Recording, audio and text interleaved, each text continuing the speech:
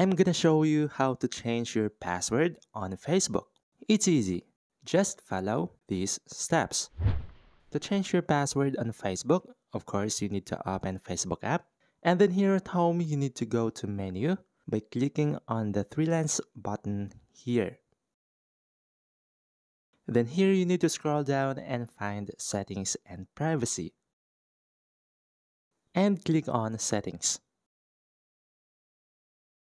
We need to go to account center to change our Facebook password. It is here. But if the account center is not here, you can search for it instead. Search for account center. Here it is, click on it.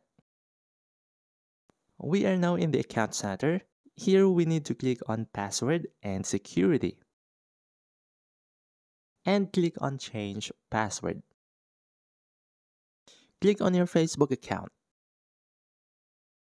We can now change our Facebook password. First is you need to enter your current Facebook password.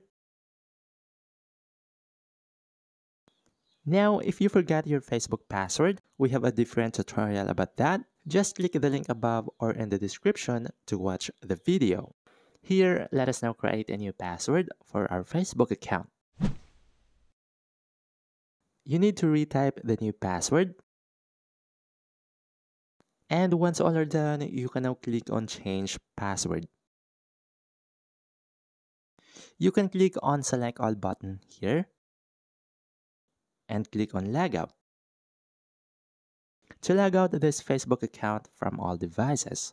I have successfully changed the password of my Facebook account.